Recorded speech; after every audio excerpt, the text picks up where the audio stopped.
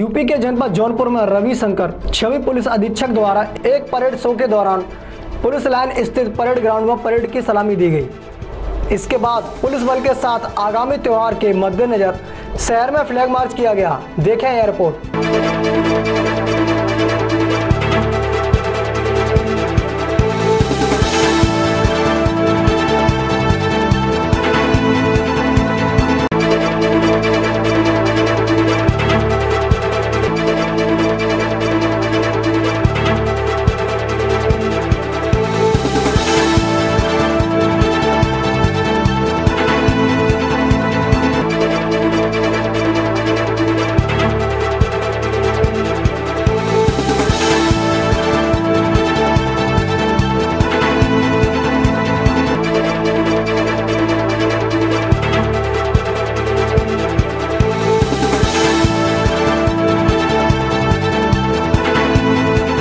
सूत्रों के अनुसार यह फ्लैग मार्च उन लोगों के लिए निकाला गया जो माहौल बिगाड़ने की कोशिश में लगे हैं। इस आयोजन के बाद कड़ी चेतावनी दी गई कि सांप्रदायिक सौहार्द बिगाड़ने वालों को बख्शा नहीं जाएगा। आगामी सभी त्योहार आपसी सौहार्द के साथ शांतिपूर्ण माहौल में मनाएँ। इस फ्लैग मार्च को देखने के लिए काफ़ी भीड़ एकत्रित हो गई।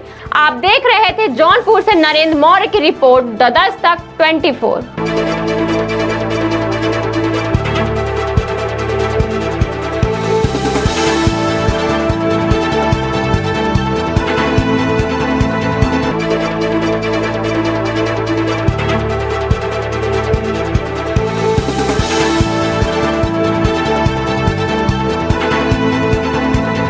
हमारे साथ जुड़े रहने के लिए हमारे YouTube चैनल को सब्सक्राइब करें, साथ ही बेल आइकन को दबाएँ।